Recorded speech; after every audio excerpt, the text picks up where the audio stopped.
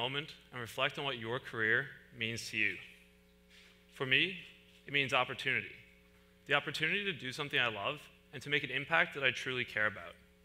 But that's not how I always viewed my career. Prior to making the decision to start my own company, CoLab Software, my career was confusing and uncertain because I was continuously trying to fit the mold of the typical career. The world around us is continuously changing, and so is the definition and expectation for a career.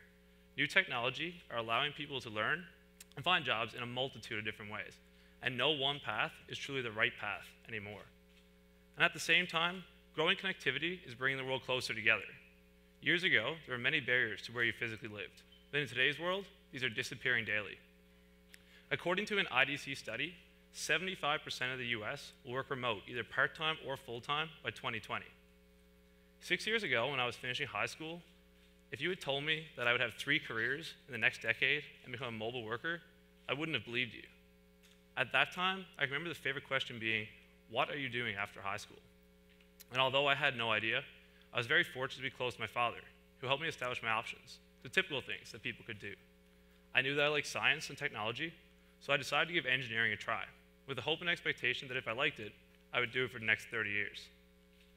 During my first year, though, there were many ups and downs, and I really didn't know what I wanted to do or who I wanted to become. But to make that even more challenging, my father, who had been one of my biggest supporters, was battling an inoperable form of cancer. And shortly after my first year, my father passed away. At that point, I was more lost than ever before. Because for the first time, I truly had to think for myself. And I can remember immediately looking for answers, like he would have wanted on how to move forward with my life. That typically resulted in thoughts of not being able to do the things that I truly cared about, whether it was building self driving cars at Google or making a last, lasting impact in the medical sector. But throughout this period, I was fortunate that I actually had the experience of working several years on exciting energy projects. I learned a lot and I enjoyed it, but ultimately I realized that it wasn't what I truly cared about and wanted to do for the rest of my life but making a change seemed near impossible. At the end of my third year, I decided to step outside of that comfort zone, and I applied to work for Google. But I got rejected, multiple times actually. And at that point, I kind of thought I just wasn't good enough to work for a company like Google. So I gave up, went back to school, uh, and went on with my day. But a couple months later, one of my good friends came to me and told me about this exciting Hyperloop pod competition being hosted by SpaceX and Elon Musk. The idea was for student teams around the globe to bring his idea of the fifth, fifth mode of transportation to life a levitating train like vehicle that would float from city to city in vacuum tubes at speeds up to 1,200 kilometers an hour. I was very skeptical because I didn't even believe it was possible at first. But after some heavy convincing, I decided to make the change. When you actually look at this, the journey was filled with overwhelming moments of doubt and uncertainty, a series of rejections and failures but ultimately a lot of learning and life lessons. Eight months after I joined this team, I started leading this group of six universities. And a year later, we actually finished second place in the world. But what was even more exciting was the paradigm shift that it provoked. Because at that point, it had given me the confidence to seek an internship with Reflection Medical, a company that's building the world's first ever biology guided radiotherapy system. And what that means is a system that can track a patient's tumor as they're being treated. So, a whole new opportunity and a whole new set of hope for cancer patients around the world. A very ambitious plan, but after losing my father, I knew it was something I had to do. Oftentimes, when we look at our ambitious plans, our own self doubt can destroy them before we even give them a chance. We let the fear of competition with the rest of the world place an imaginary ceiling on our potential, and we become trapped within a structure of our own self doubt. But the world we're dealing with is not as scary or as well put together as it seems. The world's biggest companies and most influential people appear to be working incredibly efficiently. That's rarely the case. What they are very good at doing is remaining calm, staying the course, and pushing forward when everything else around them is crashing. Take Elon Musk, for example.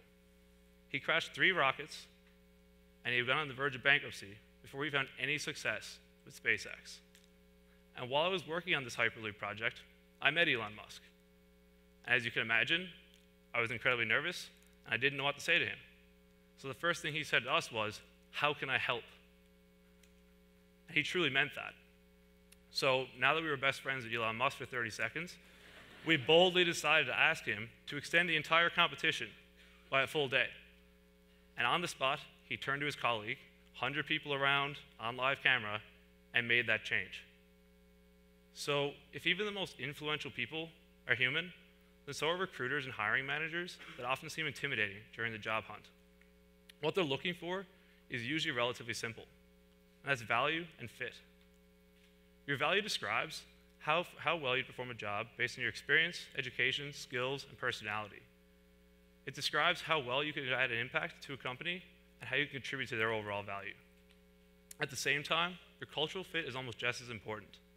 When you meet people, they inherently want to understand how well you'd work with their team, what are your goals and objectives, and how you handle tough situations. When I initially described this Hyperloop concept, you were probably envisioning some form of alien space vehicle that traveled at speeds that either made you uncomfortable or think I'm irrational. But after doing this for two years, I view it as far more than a new mode of transportation. Today, I view the Hyperloop as a vehicle for learning, finding and creating your passion.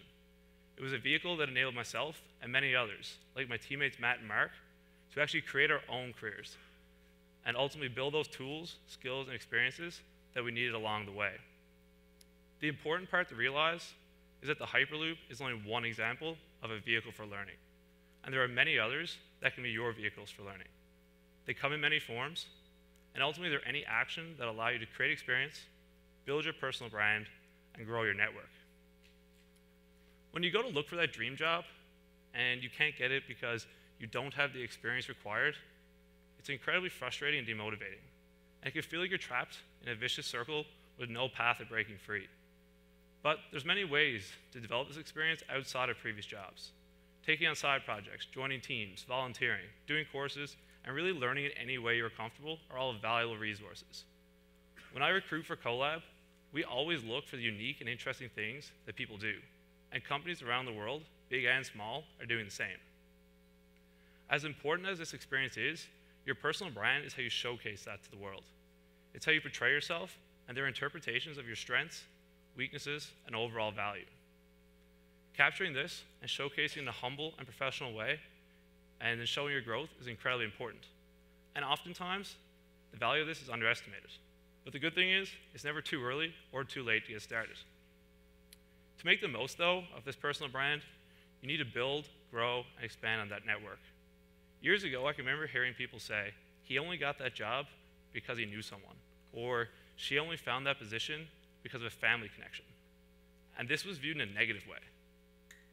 With the power of networking events and digital platforms today, it is becoming ever more important to connect with people, build relationships, and add value to that community. I'd argue that your network and your community is as important as your experience itself. Building is not easy, and you're going to be rejected more often than accepted. But for the times it does work, it's well worth it. When I initially described Reflection Medical, I left out one key part. I didn't actually apply to work there. I connected with one of the VPs of the company on LinkedIn.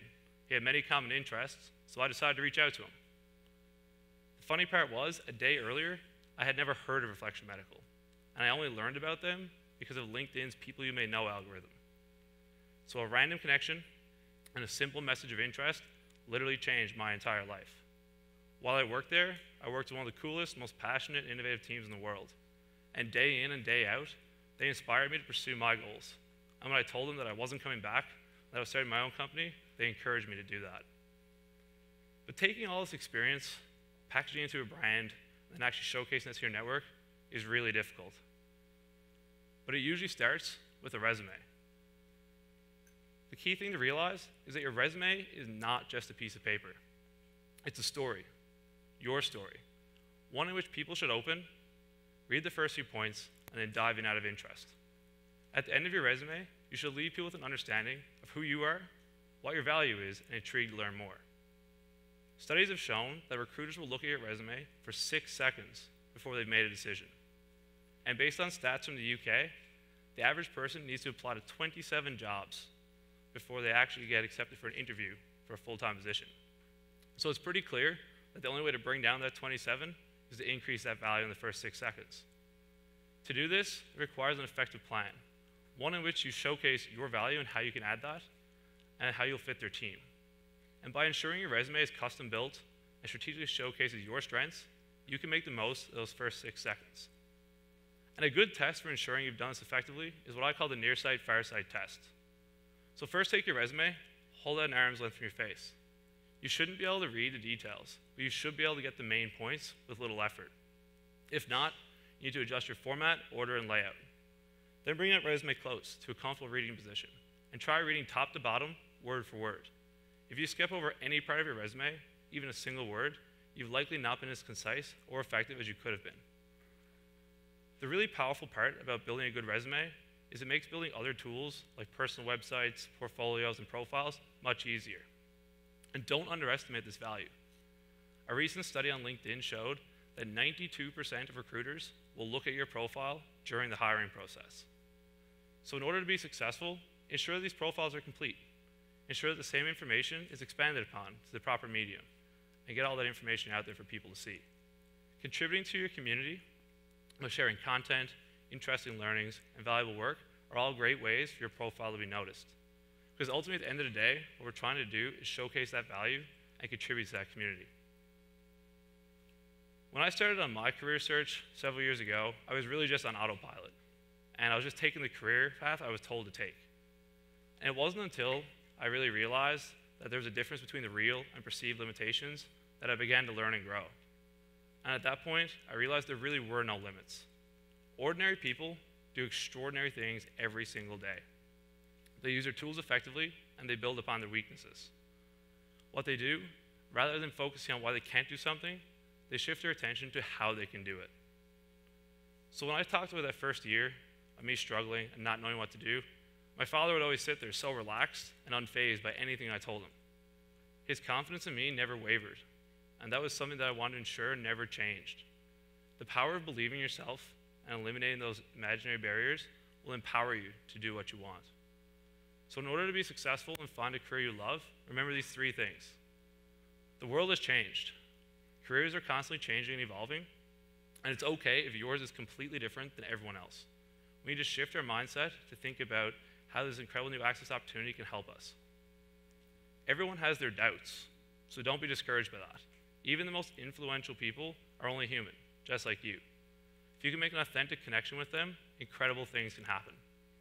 And finally, define your value and fit. Find those experiences, package it into your brand, and showcase that to your network. It's not a simple process, and it's not going to work all the time, but keep trying. Because for every time a rocket has failed Elon, for every time your resume is rejected, and for all the ideas that don't work, there's always another opportunity, and it's never worth giving up on what you care about the most.